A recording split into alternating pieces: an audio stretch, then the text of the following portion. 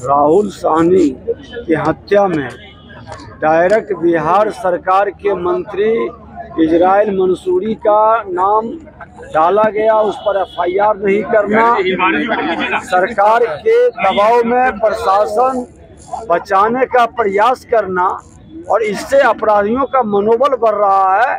नमस्कार, आप news foundation देख रहे हैं। मैं हूँ आपके साथ वंदना। नेता प्रतिपक्ष विजय कुमार सिन्हा ने सरकार पर सीधा सीधा आरोप लगाया है और कहा है कि अपराधियों के पीछे सरकार का बड़ा योगदान है। उन्होंने साफ़ तौर से आरोप लगाते हुए सरकार पर कहा है कि जितने भी आपराधिक घटनाएँ घट रही है बिहार में, कहीं ना कहीं ठगबंधन का हाथ उसमें है। और जिस बिहार सरकार में मंत्री इजराइल मंसूरी को लेकर के भी उन्होंने बड़ा बयान दिया है। उन्होंने कहा है कि जिस तरह से मुजफ्फरपुर में जो घटनाएँ घटी है, उसके पीछे इजराइल मंसूरी का हाथ है, लेकिन सरकार कहीं ना कहीं उन्हें उसे बचाने की कोशिश कर रही है। आज उसी उसी को लेकर के उसके खिलाफ में एक दिवसीय धरना पर जो है नेता प्रतिपक्ष बैठे हैं, जहाँ तमाम आप तस्वीरों के माध्यम से देख रहे होंगे कि जो एक दिवसीय धरना है, उसमें जितने भी वहाँ के स्थानीय लोग हैं, वह तो शामिल हैं ही, साथ ही साथ विपक्ष के लोग भी उसमें शामिल है और सरकार एक तरह से सरकार को उन्होंने कटघरे में खड़ा करने का काम किया है। साफ़ तौर से उन्होंने कहा है कि अगर इसराइल मंसूरी पर एफआईआर दर्ज नहीं सरकार करती है या फिर उस पर कार्रवाई नहीं होती है तो आगे एक बड़ा आंदोलन हो,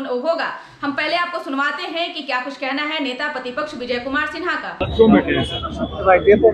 देखिए आज मुजफ्फरपुर के अंदर राहुल साहनी की हत्या में डायरेक्ट बिहार सरकार के मंत्री इजराइल मंसूरी का नाम डाला गया, उस पर एफआईआर नहीं करना। सरकार के दबाव में प्रशासन बचाने का प्रयास करना और इससे अपराधियों का मनोबल बढ़ रहा है।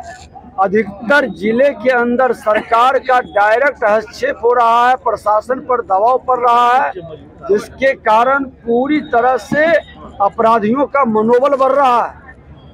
ये दारू बालू और ज़मीन के धंधा करने वाले का तो पहले से ही आतंक था। अब तो ये माफिया गिरी सरकार में बैठे मंत्री ही शुरू कर दिए हैं और इन लोगों के कारण एक दहशत का वातावरण बन रहा है। एफआईआर में नाम दर्ज करने के लिए एसपी ने कहा था कि हम लोग जो आया है एफआईआर करेंगे, फिर दबाव डाल करके बदलने का जब उसके परिवार के लोग बोल रहे हैं, उन्होंने अपना बयान भी दर्ज कराया है। तो सरकार उस मंत्री पर एफआईआर करे, उसकी इस्तीफा ले, उसकी गिरफ्तारी की व्यवस्था बनाए। जो भी अपराधी है, उस पर एक्शन सरकार की दिखाई पड़नी चाहिए, लेकिन कहीं ना कहीं आज दर्जनों घटनाएँ घटित हुआ है। हत्या, अपहरण, लूट, बलात्कार का, और ज़िले के अंदर प्रशासन की जो सुस्ती है, या कहीं ना कहीं दबाव में प्रशासन सरकार की है अपराधियों को बचाने का, इसके विरोध में हम सब लोग बैठे हैं।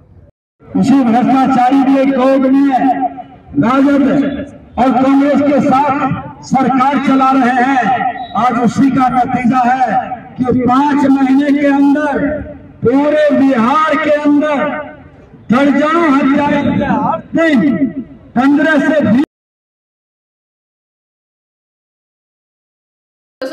क्या कुछ कहा? बता दें कि कई मुद्दों को लेकर के उन्होंने सरकार पर गंभीर आरोप लगाया है और कहा है कि जिस तरह से आपराधिक घटनाएँ बिहार में घट रही है, कहीं ना कहीं सरकार का इसमें बड़ा हाथ है और अगर सरकार अपने मंसूबे को और भी ज़्यादा कामयाब करने में लगी लगी है तो उसे नाकामयाब करने का कोशिश जो है भारतीय जनता पार्टी करेगा और इस बात को सड़क से लेकर सदन तक उठाने का काम भी करेगा।